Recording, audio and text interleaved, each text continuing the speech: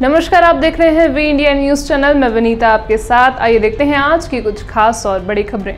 ग्राम पंचायत निभोरा में कोरोना से बचाव के लिए समाज सेवी मनीष पटेल निभोरा के नेतृत्व व मार्गदर्शन में गाँव को सैनिटाइजर का छिड़काव किया गया है।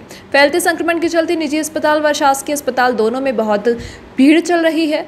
इसी के रोकथाम के लिए गाँव में सैनिटाइजर का छिड़काव किया गया है। इसके चलते शहरों के साथ ही गाँव में भी इस बीमारी की रोकथाम के लिए प्रयास किए जा रहे हैं। ग्राम के सभी मोहल्ले, सार्वजनिक स्थान, पंचायत भवन एवं गाँव के सभी जगहों पर कोरोना संक्रमण से बचाव को लेकर ग्राम पंचायत एवं गाँव के समाज सेवी मनीष पटेल के सहयोग से सैनिटाइजर का छिड़काव किया गया, जिसमें मुख्य रूप से मनीष पटेल, कैलाश ठाकुर, राजकुमार आम्रबंसी, राजेश नोरिया, मनीष नोरिया, बलवीर अहिरवार, रामकृष्ण बामने, हरिबाबू बामने आदि युवाओं का सहयोग मिला।